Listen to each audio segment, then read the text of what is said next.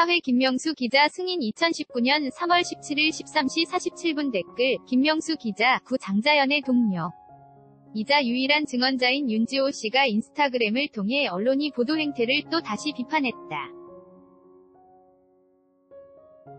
윤지호 씨는 정확한 보도는 바라지도 않는다 며 인터뷰한 기사만이라 도 올려달라 는 내용의 글을 17일 자신의 인스타그램에 게시했다.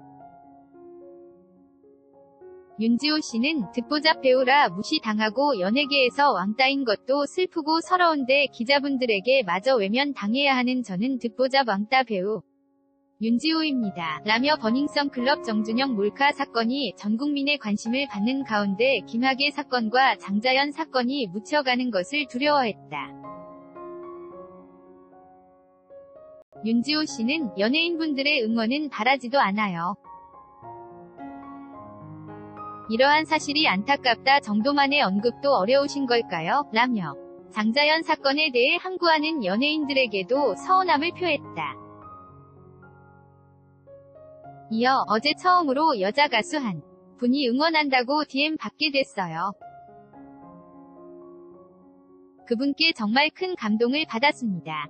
라며 고마움을 표하기도 했다. 15일 오전 서울 세종문화회관 계단에서 한국여성의 전화와 성매매 문제 해결을 위한 전국연대 등 1033개 단체 공동주최로 열린 김학의 전법 무부 차관 등에 위한 성폭력 사건, 고 장자연 씨 사건에 대한 진상규명 촉구 기자회견에서 김 전 차관 성폭력 사건 피해자가 증언하고 있다. 앞서 증언한 고 장자연 문건 목격자인 윤. 지호 씨가 증언을 들으며 괴로워하고 있다.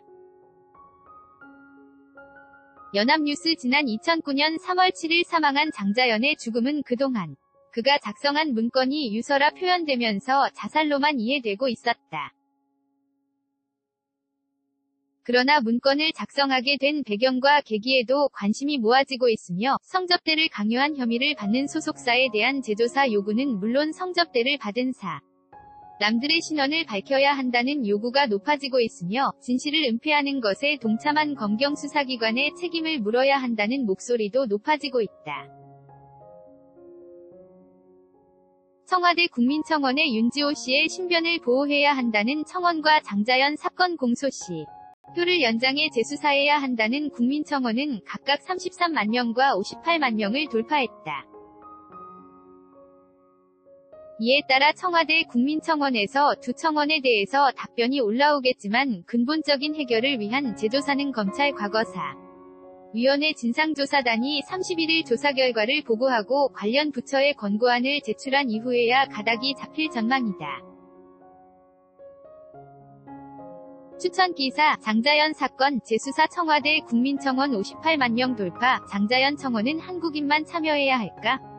청와대 국민청원으로 살펴본 김학의 장자연 버닝썬 사건을 둘러싼 민심과 공수처 종합 김어준의 다스뵈이다 윤지오 고 장자연 사건 방송 인터뷰 적극적으로 임하고 있는 이유는 고 장자연 동료 윤지오 명단 공개 못하는 이유 밝혀 언론에도 날선 비판 선정적 언론과 기자 경멸 고 장자연 사건 수사기간 연장 청원 43만 명 돌파, 과거사위 진상조사단, 장자연 리스트 진실 밝혀낼까, 종합 버닝썬 사건으로 묻히고 있는 고 장자연 사건 정리 FT. 마지막 목격자 윤지호 같은 날 장자연 사건 윤지호 기자회견 vs 불법 동영상 공유 정준영 입국장 극과 극 분위기 윤지호 증언 여전히 정리되지 않은 장자연 사건 대중 연예인 사건에 묻혀선 안 된다. 신변보 포 청원 21만 돌파 오늘 밤 김재동 방정호 전 TV 조선 대표 측 장자연 보도한 언론의 민사소송 종합 승리 성접대 정준영 동영상으로 확대되는